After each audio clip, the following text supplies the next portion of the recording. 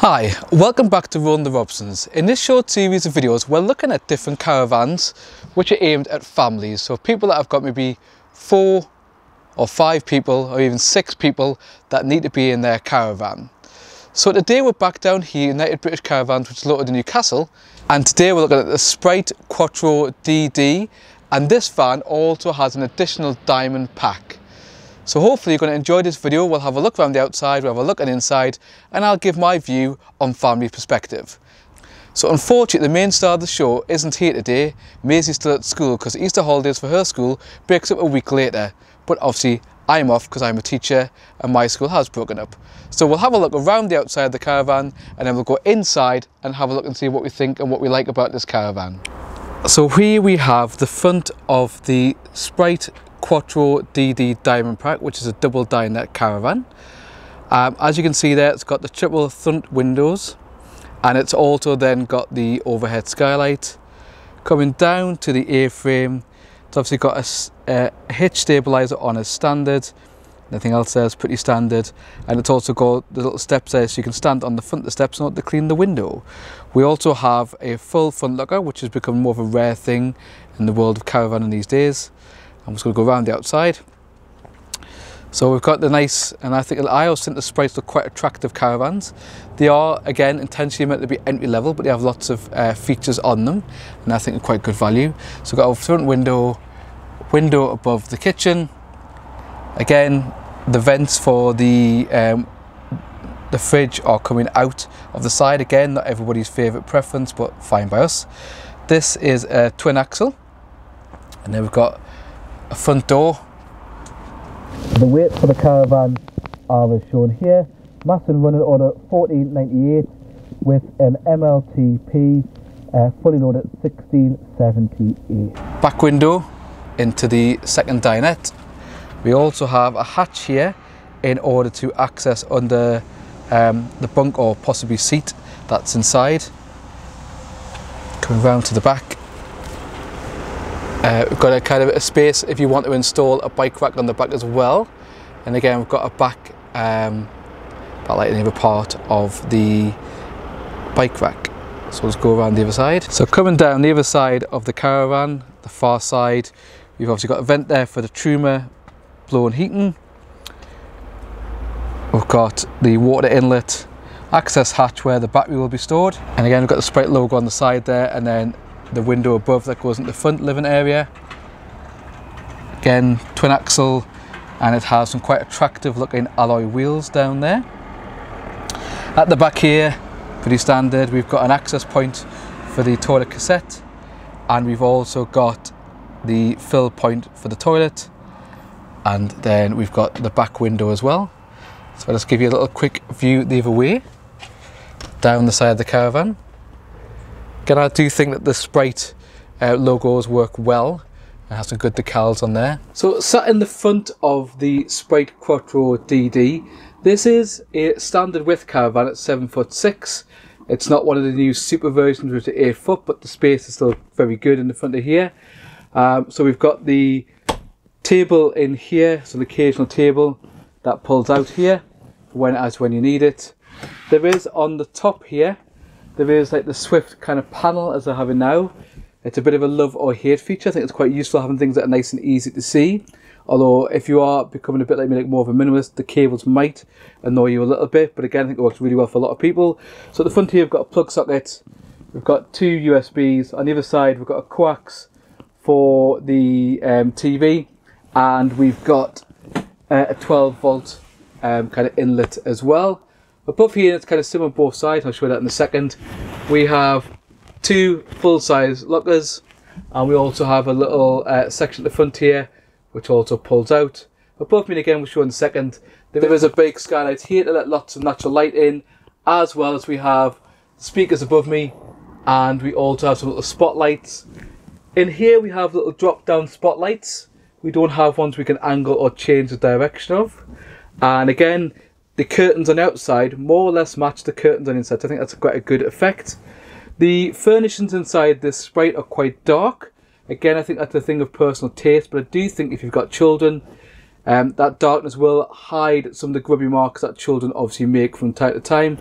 The cupboards, obviously being white, might show a few of those marks up over time because children, particularly my children, have grubby hands and they go in out the cupboard. So I'll show you on the front of the caravan first. So the front of the caravan, like I said before, sitting down, we've got the three front windows, we've got the skylight and then a kind of large size hiking that's all inbuilt over here. Again, quite a bit of natural light coming in the front. You've got the occasional table, a couple of drawers, and a drop down flap, and then a couple of Truma heaters. What I do quite like on this van is that it actually has drop down flaps on the front, which I think is a really useful feature rather than kind of keep pulling up and down the uh, bed again on the same other side. Exactly the same there. that's a good feature in a caravan. We've got, like I said, the three overhead lockers. So they're a good depth. There's no shelf in them, but they're a good size depth, and you can put plenty of stuff in there. The other one's pretty much the same. And then at the front here, we've got like a sort of covered uh, kind of cubby hole going on there. And it's pretty much the same on the other side. So cubby hole um, with a kind of locker, couple of locker covers there. It's good that it's got a positive catch on as well. So we've got quite a large wardrobe in here. Again, nice with a nice white and makes it nice and bright in here. So open that for a second both sides. Again, the camera take a couple of, times, couple of seconds to catch up. This is where obviously the aerial is. There is a hanger. Uh, obviously, the kind of the the back can become bunk beds. We'll look at that in a second. Bit of space, quite a large space there to put uh, maybe clothes on it. Maybe you could even buy one of them little drawer sections. And there's a couple of shelves in there. So now we're going to move on to looking around the kitchen. So here we have the kitchen in the Sprite DD. We have a very long surface space there. So that I quite like here is we've got this little sort of shelf section to put things that you might need access to, maybe phones and things while they're charging. Um, and I think that's a really good idea that other caravan companies could learn from. got a couple of spaces for sockets there. Above the top there, we've got an integrated microwave, and we've got two spaces. So on the right hand side, we've got the rack and plate section. And on the left hand side, that's a large cupboard with a little bit of a radio system in there as well. Panning back, we've got the window there. Down the bottom here, which I think is another good feature, we've got another cubby hole there. And we've got a reasonable size cupboard, again shelf in there. A Dometic under the counter uh, fridge, which I'll at the second. And it still has their cupboard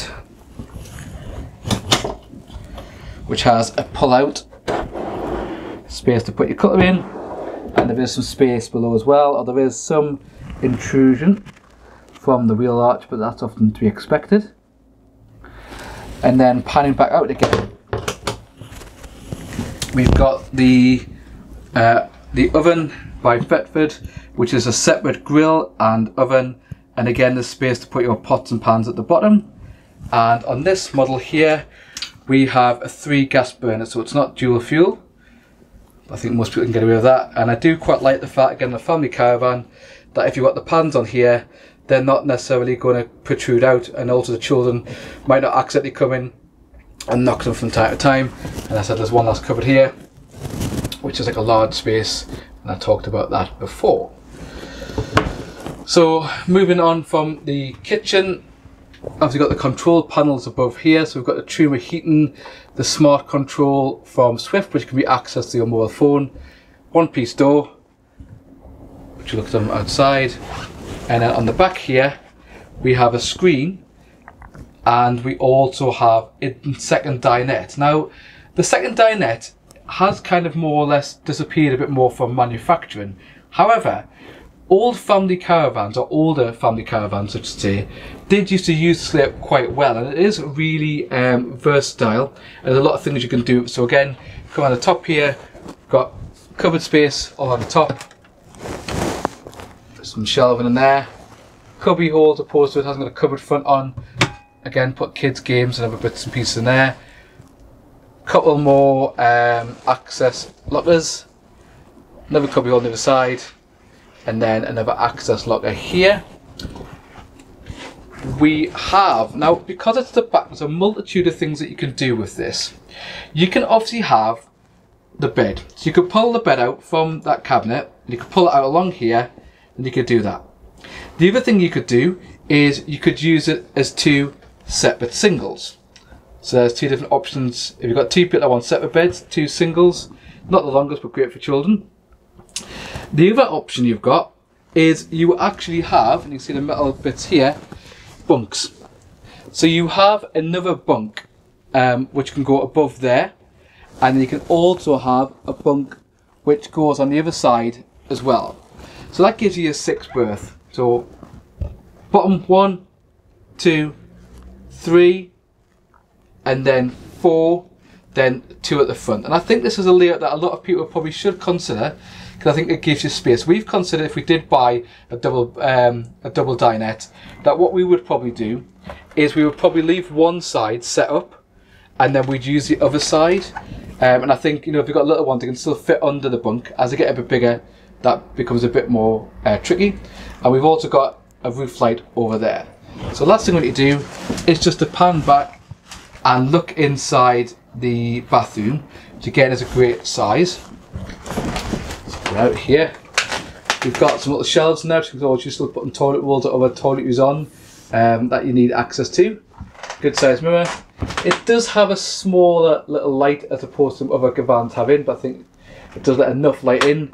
We have a Thetford electric flush toilet. Um, we also have a cupboard to put stuff in. This isn't well, actually, no. Catch is too. It's magnetic catch as opposed to kind of a, a, a, positive catch there. Some space in there. But what I really like is the absolute anomaly, or I think for a lot of caravans, a very large shower. Now, the other thing you can think about with this caravan, if you look down here, is it is quite deep and there is a lip. You can see the lip on the front there. You could actually put a plug in there. And if you've got a small baby, you could use it as a little mini bath until they get a little bit bigger. So the Sprite Quattro DD with a dime pack down here at United British Caravan Newcastle retailed at 21,475 and gives some bits of spec on the front there. So hopefully that's been useful for you and it does give you a different layout and I think this layout isn't dead like some people think and it's not all about fixed bunks and it gives you a lot of versatility if the van needs to be versatile and sometimes use parts and sometimes don't use parts.